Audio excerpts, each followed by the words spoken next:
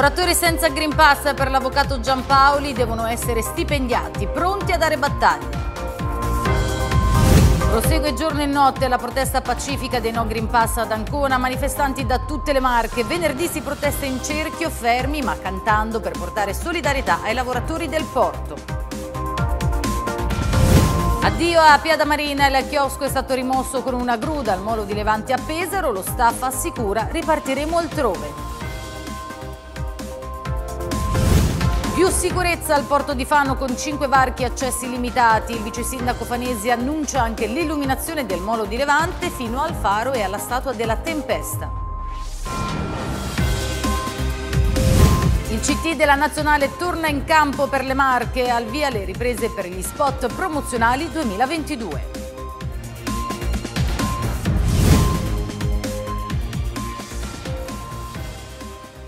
Buonasera e benvenuti a Occhio alla Notizia. Apriamo il nostro telegiornale con l'intervista che abbiamo realizzato all'avvocato Isabella Giampaoli che difende decine di lavoratori sprovvisti di Green Pass. Per l'avvocato le nuove norme sono illegali e discriminatorie. Per questo i dipendenti dovrebbero essere comunque stipendiati. Angelica Panzeri. Diciamo no a questa discriminazione illegale in contrasto con norme di rango superiore. Il problema è sempre lui, il tanto discusso Green Pass. E a parlare di fronte alle telecamere di Fano TV è l'avvocatessa Isabella Giampaoli, la quale ha iniziato a seguire da quando la certificazione verde è diventata obbligatoria per l'accesso a tutti i luoghi di lavoro, sia nel settore pubblico che privato, decine e decine di lavoratori che ne sono sprovvisti. Giampaoli, assieme a loro, si dice pronta ad andare a fondo e a dare battaglia, perché un decreto legge non può superare un contratto nazionale di lavoro, spiega ai nostri microfoni, quindi gli stipendi che ora vengono sospesi dovranno essere pagati in seguito. Sono in prima linea insieme a moltissimi altri colleghi in tutta Italia per eh, combattere questa normativa illegale, illegittima e ignobile che discrimina le persone, quindi qui non si tratta più di salute pubblica, ma si tratta di discriminazione. Il Green Pass è in contrasto con la normativa europea, con il regolamento europeo 953, è in contrasto con la Carta dei diritti europea e con la Costituzione italiana, quindi è una norma inapplicabile e che va estirpata. Ecco, che cosa significa andare fino in fondo? Lo stato di emergenza durerà fino al 31 dicembre, così anche l'obbligo di Green Pass, a quanto pare. Ci auguriamo che finisca prima, eh, stiamo lavorando alacremente a fronte della sospensione dal lavoro, eh, abbiamo appunto inviato una lettera per eh, recuperare, per avvisare che è una normativa illegittima e per recuperare gli eventuali stipendi che sono stati decurtati, in quanto esiste un contratto di lavoro che non può essere cancellato. Continuerà giorno e notte almeno fino al 23 ottobre il presidio contro il Green Pass al porto di Ancona. In particolare venerdì dalle 9.30 per tutto il pomeriggio i partecipanti rimarranno fermi in cerchio con in mano alcuni strumenti musicali. Manifestare, si legge in un gruppo Telegram, ci porta molto spesso in uno stato di rabbia, angoscia, violenza. Questo tipo di emozioni nutrono il sistema coercitivo davanti al quale ci stiamo fermando. C'è bisogno di creare unione e amore, uniamoci e cantiamo rimanendo fermi e incorporati incorruttibili. E adesso vi facciamo vedere una parte della protesta pacifica che continua in via Mattei ad Ancona con dei video girati ieri e oggi e arrivati alla nostra redazione. Allora questa è la protesta non violenta di Ancona, la gente passeggia sulle, sulle strisce pedonali, blocca il traffico e i poliziotti non possono fare nulla perché appunto le persone stanno passeggiando, per cui è una forma di protesta, come dire, non violenta ma allo stesso tempo efficace. Come vedete ci sono donne che solidarizzano anche con eh, autisti e privati, eh, offrendo, stanno offrendo caffè, panini, dolci e quant'altro proprio per solidarizzare con eh, i camionisti e con i privati cittadini. Eh, c'è apposta eh, sul, sul, gazebo una bellissima bandiera greca, eh, dono di un eh, autista greco che solidarizza con noi. Giusta informazione è venuta ad aiutare il presidio del porto di Ancona.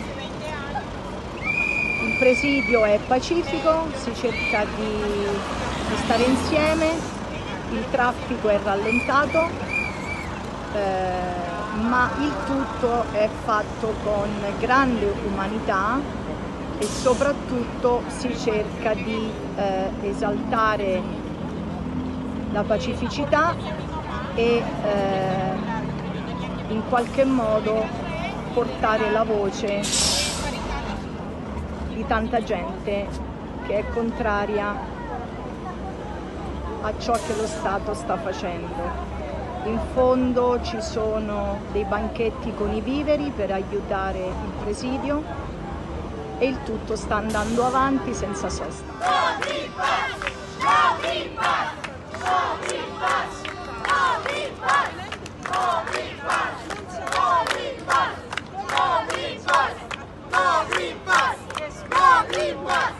No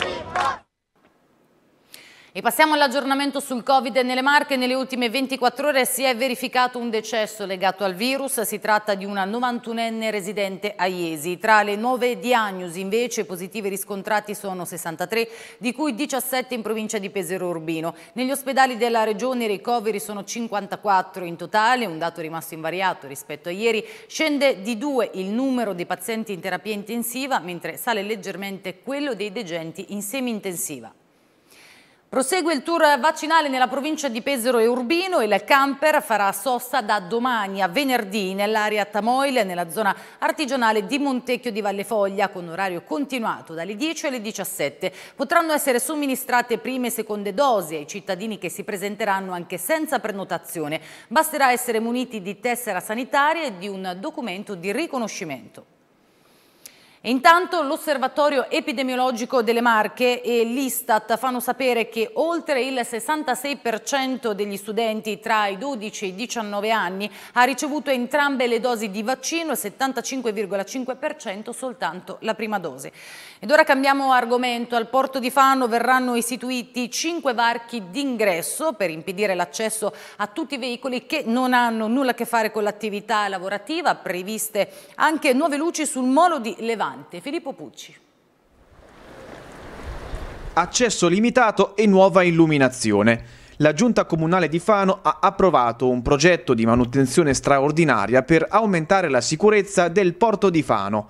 Ad annunciarlo è il vice sindaco e assessore all'urbanistica Cristian Fanesi che ha illustrato i quattro interventi. La sistemazione dell'impianto idrico, la l'installazione dei varchi per l'accesso carrabile nelle zone di lavoro del porto di Fano, la sostituzione e l'acquisto di parapetti, parabordi, anzi eh, per quanto riguarda il, il, il, moletto dove scaricano eh, le nostre barche e il pescato e quindi lavori tanto attesi che riguardano appunto l'attività lavorativa del porto peschereccio e delle darsene che eh, si sviluppano intorno anche all'area della cantieristica. I varchi all'ingresso alle aree portuali saranno 5, tutti muniti di sbarra alzabile soltanto da chi sarà in possesso di un badge rilasciato dalla capitaneria. L'obiettivo è quello di evitare l'accesso ai veicoli non autorizzati.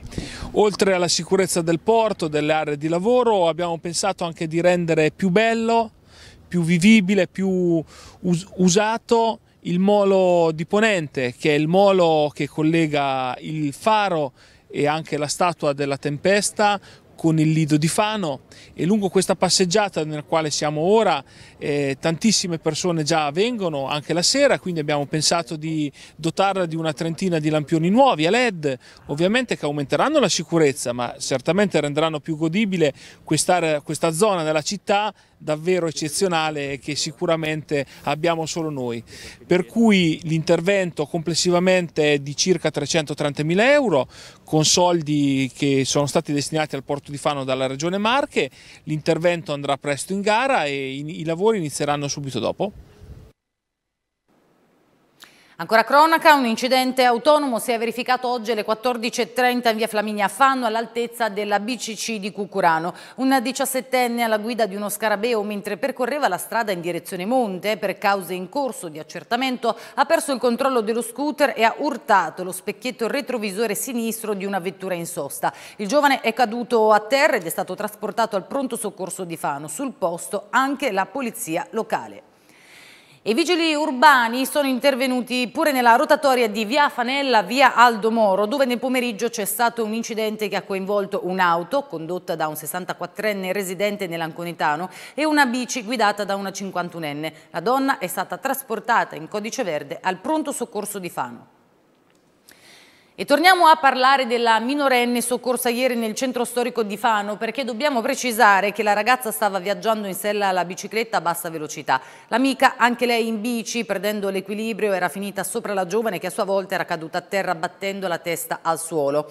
Soccorsa prima dal farmacista che ha l'attività di fronte a dove è successo il fatto e poi dai sanitari del 118, era stata trasportata al Santa Croce eh, dove è stato riscontrato un trauma cranico e dopo sette ore circa di ospedale è stata dimessa con una prognosi di due giorni, durante i quali dovrà rimanere sotto osservazione. Il messaggio di un nostro telespettatore che a sua volta segnalava le lamentele dei passanti per l'elevata velocità con la quale gli studenti si recano a scuola in bici passando lungo corso Matteotti è scollegata con quanto accaduto alla ragazza rimasta ferita.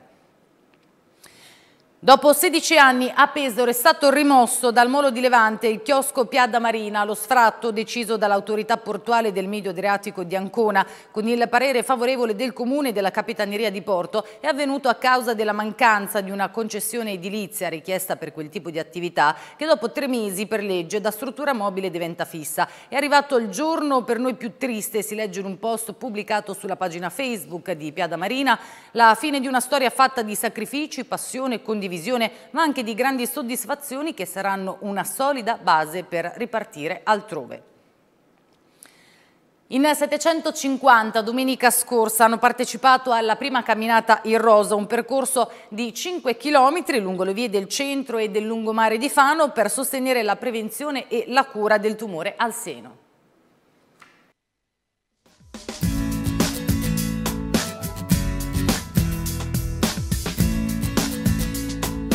Una grande partecipazione per lanciare un unico messaggio, quello di promuovere e diffondere un'attenzione verso la prevenzione e la cura del carcinoma mammario. Si sono incontrati in piazza 20 settembre gli oltre 700 partecipanti alla camminata in rosa, un percorso di 5 km non competitivo, aperto a tutti, organizzato dall'assessorato alle pari opportunità del comune di Fano. Una partecipazione incredibile quella di oggi alla camminata in rosa, la prima camminata in rosa per eh, il comune di Fano e non potevamo mai pensare che la risposta sarebbe stata questa e per noi è un grande onore. Voglio ringraziare le tante persone, uomini e donne, anche bambini che sono qui con noi oggi eh, perché camminare per la motivazione per la quale camminiamo oggi è importante, fondamentale e prezioso la cultura della prevenzione deve passare perché essere ammalati o rischiare di esserlo non deve essere uno stigma.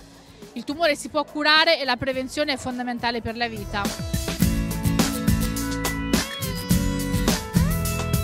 I partecipanti, i giovani, adulti e le tante associazioni che hanno sposato la finalità di questo evento si sono diretti verso il corso, passando per l'Arco d'Augusto fino a via Nazario Sauro, vicino alla Darsena Borghese. Poi è stata la volta del lungomare di Sassonia, verso viale Cesare Battisti e via Garibaldi, per tornare infine nella piazza centrale attraversando Borgo Cavour. Deve passare questo messaggio, dove comunque deve diventare un'abitudine controllarsi il seno, diventa, deve diventare un'abitudine costante quello di controllarsi ogni ogni anno anche a più giovane età. Un pensiero eh, alla persona che oggi è un po' protagonista assente eh, Alida Battistelli, la presidente dell'associazione Fior di Loto che non può camminare oggi eh, con noi ma che noi camminiamo per lei e con lei e con tutte le donne che comunque stanno combattendo una battaglia importante per la loro vita.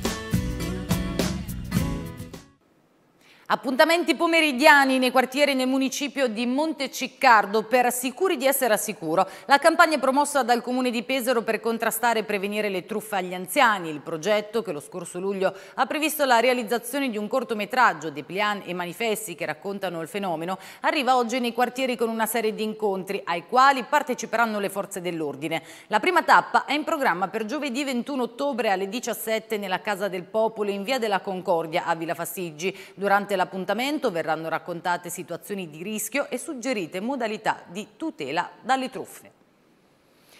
Torna in campo il commissario tecnico della Nazionale Roberto Mancini come testimonial della Regione Marche per il 2022. Sono iniziate oggi le riprese della nuova campagna promozionale con gli spot che andranno in onda il prossimo anno. Le riprese proseguiranno nei luoghi più suggestivi della regione, dal mare alla montagna, con l'entroterra scrigno di sapori e paesaggi. Gli ottimi risultati conseguiti nel corso della stagione turistica, sottolineato il presidente Francesco Acquaroli, sono anche frutto della bella immagine della della regione che grazie al nostro testimonial abbiamo mostrato all'Italia e all'Europa. La grande sfida che abbiamo davanti, ha concluso Acquaroli, è quella di destagionalizzare l'offerta turistica per valorizzare tutto l'anno le enormi potenzialità delle Marche. Walter Scavolini è stato insignito cittadino onorario del comune di Montelabate, un riconoscimento per l'imprenditore che con la sua azienda ha dato un importante contributo per lo sviluppo dell'intero territorio. Letizia Marchionni. La, più che la cittadinanza onoraria, adesso da oggi io mi sento adottato al comune di Montelabate, perciò Perciò è un bel impegno anche per voi. Perché... Non mi aspettavo un riconoscimento del genere, per me è come essere stato adottato dal comune di Montelabate. Sono le parole di un emozionato Walter Scavolini che lo scorso 14 ottobre, durante un vero e proprio consiglio comunale allargato, ha ricevuto dal sindaco di Montelabate Cinzia Ferri la cittadinanza onoraria, un riconoscimento che simboleggia grande stima per i valori profondi e genuini dell'imprenditore immobiliere e gratitudine per aver dato lavoro a tanti cittadini cittadini grazie all'azienda Scavolini, che quest'anno soffia su 60 candeline. I segreti per un'attività così longeva, ha rivelato Walter, sono un prodotto di qualità ed un buon servizio, restando sempre al passo coi tempi. Io ricordo che eravamo due aziende, i primi che siamo venuti su da Montalabate, francamente allora sembrava di essere fuori dal mondo sembrava, no? perché si era abituati tutti a stare in città appeso o proprio attorno, mentre invece pensiamo di aver fatto una cosa giusta perché poi penso che qui eh, Montelabare è diventata, è diventata una zona industriale molto importante. E io quello che mi auguro eh, anzi lo dirò, che questo, questa cittadinanza venga magari tramandata in futuro di generazioni, cioè che, eh, che, oggi diciamo, è la prima generazione, poi spero che in futuro sia anche per quanto riguarda la prossima, i figli, i nipoti, magari ancora i pronipoti e così via, perché francamente è importante, se c'è questo riconoscimento vuol dire che l'azienda la, va bene e, ed è importante per tutto perché ormai l'azienda diciamo, è un patrimonio eh, nostro certamente, ma è anche un patrimonio di tutti. Allo straordinario consiglio comunale, assieme al sindaco, vi erano tutti i consiglieri comunali di Montelabbate, presenti anche i consiglieri regionali Marta Ruggeri, Nicola Baiocchi, Giorgio Cancellieri e Andrea Biancani, assieme al presidente della provincia Giuseppe Paolini. A rappresentare i comuni di Pesaro e Valle Foglia c'erano Marco Perugini e Palmiro Ucchielli. L'azienda Scavolini ha affermato Cinzia Ferri non solo ha contribuito in maniera importante allo sviluppo del territorio, ma ha anche portato il nome del nostro comune in giro nel mondo. Mi è venuta quest'idea perché sono convinta che Walter Scavolini col suo intuito quando era molto giovane, non era neanche maggiorenne, ha creato questa azienda e negli anni è riuscito a dare lavoro eh, a tante famiglie di Montelabate e anche dei comuni limitrofi. E questo che cosa ha comportato per il comune? Ha comportato un benessere, uno sviluppo industriale e anche uno sviluppo edilizio perché eh, chiaramente uno cerca di abitare vicino al dove lavora e quindi per il nostro territorio è stata una cosa molto importante. È vero che poi negli anni ci sono stati periodi di crisi, però lui è l'unico industriale che è riuscito sempre a superare le crisi perché ha creduto nella sua azienda, reinvestendo nella sua azienda e mm, convinto che avesse delle potenzialità. Eh, un grande intuito chiaramente imprenditoriale, uno sviluppo del territorio molto importante e al quale non potevamo non eh, dare un riconoscimento altrettanto importante come una cittadinanza onoraria. Ok, benissimo.